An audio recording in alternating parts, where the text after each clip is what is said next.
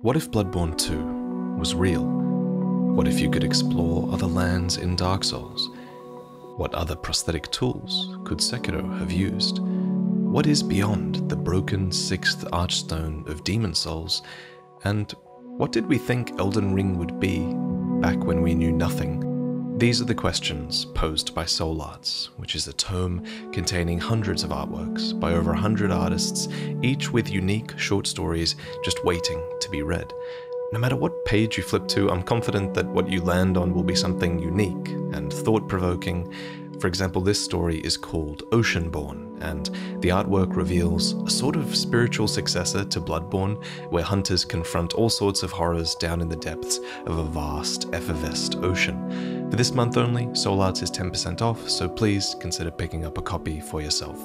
Link in the description, and thank you for watching.